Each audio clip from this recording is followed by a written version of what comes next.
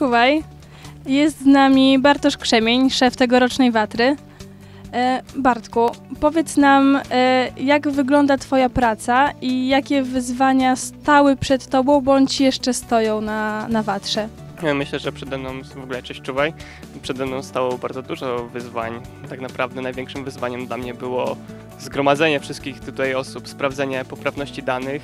Zajmowałem się również zapisem na trasy i zbieraniem dokumentów.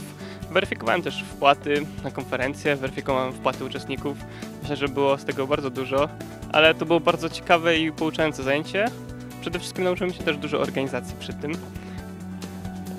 A czy pracowałeś wcześniej w biurze bądź w służbie IST, gdzie miałeś szansę podglądać pracę innych, czegoś się uczyć?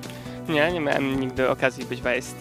Jeździłem na Watro od 2011 roku, jednak y, byłem zawsze patrolowym lub też członkiem patrolu, jednak w tamtym roku byłem patrolowym, członkiem komendy trasy oraz w zespole programowym, lecz w biurze nie. Jednak tutaj spotkałem się z Kingą Szączyńską, która mi bardzo dużo pomogła w pracy w biurze i wytłumaczyła wszystko, jak powinno wyglądać, więc myślę, że zostałem odpowiednio przygotowany, ale wszystko uczyłem się też sam. Wymieniłeś bardzo dużo obowiązków, dlatego domyślam się, że Twoja praca zaczęła się na długo przed zlotem. Kiedy dokładnie zacząłeś, zacząłeś przygotowania? Już myślę, że takie przygotowania to zaczęły się w styczniu, już od początku, kiedy regulamin zaczęliśmy tworzyć, kiedy to wymyśliliśmy wspólnie z komendą wędrowniczej Watry, tworzyliśmy cały regulamin i to od tego się zaczęło. Potem były poszczególne etapy, jak etap rejestracji patroli, potem były, kiedy patrole przechodziły odpowiedni zapis, na tra- y, przechodziły patrole akceptację programową, zapisywaliśmy na trasy, po zapisie na, na, na trasy weryfikowaliśmy wpłaty, zbieraliśmy dane.